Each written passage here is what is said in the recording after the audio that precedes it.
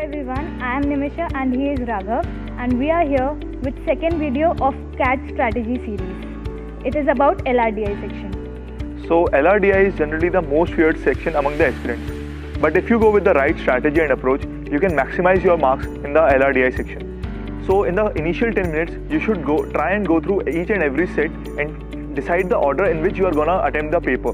Keep this thing in mind that LR cannot guarantee you to be the best section because you may be very good in LR but on the D day you may not be able to crack a set in LR.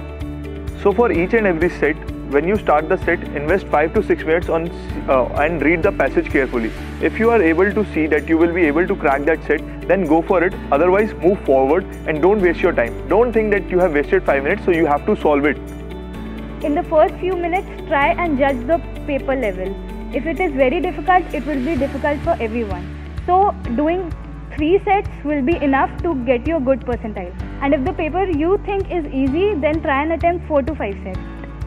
So while in the last few days, while practicing, don't when you practice LRDI sets, don't go for correct answers.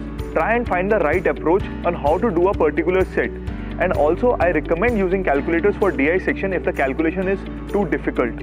If the options are broader, I mean the, the difference between the options is large, you can use approximations. But if it is near and the calculation is difficult, try and go for the calculator as it will increase your accuracy for that set. Best wishes. We will be coming with the third part for quant. Thank you.